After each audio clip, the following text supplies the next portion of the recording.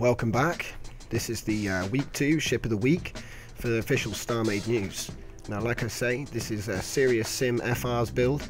It's, a, believe, a utility ship, and uh, i have decided to sort of make this one the ship of the week this week just because of the outstanding quality on the exterior hull. If you check out the details that's been put in here, there's some really inventive things going on. For example, the claw arm, which you can see there, that's actually a turret, so it will move, which is awesome. I really like that. Um, and then also the chainsaw, which I overviewed in my main review of this ship. Um, I'm just going to sort of take a few shots of this thing because it's beautiful. It's a really beautiful ship. Some great details in use. I mean, I'm just going to sort of zoom in a little bit here.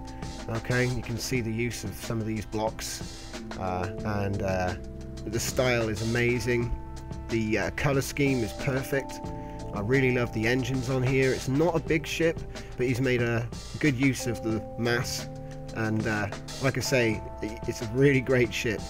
In yellow and black, excellent. If I just check out this here, you can see it looks like there's a little wheel or a gearing system. And the chain looks like it's just disappearing inside there. So, uh, you know, looking up and down this, it's absolutely beautiful. Uh, you got to watch out for the pirates. Pirates? No, maybe not pirates, maybe players.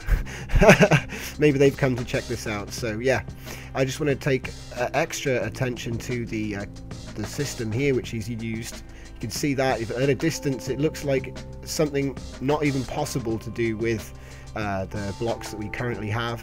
sort of achieved a kind of optical illusion of sorts, kind of warps a little bit, and it seems to change shape depending on the angle you're looking at it, which is a brilliant little device there for a grill with some kind of, uh, I'd imagine some kind of glowing internals sitting behind this little mesh here. Also, this is the most inventive use of wedges and triangle uh, corner wedges I've seen. This bandsaw or uh, uh, saw blade. It just looks amazing, um, and you know it's very easy to picture it spinning round and uh, cutting through planets. Uh, I really love the design. So thanks to Serious Sim for uh, obviously for submitting the ship, and I'm glad to make it my second ship of the week. Like I say, it's a beautiful ship. Um, I have to give my hat, take my hat off to this guy. Um, you might be wondering about the sort of uh, hard points here. They are actually where the uh, guns fire from. There is a pirate defense, you know, it'll defend against little pirates.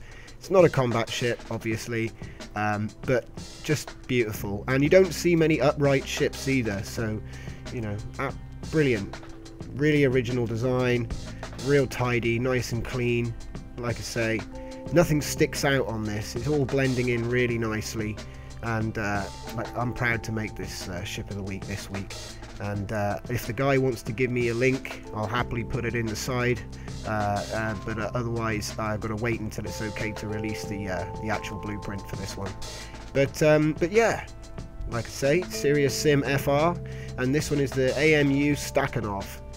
So that's the ship of the week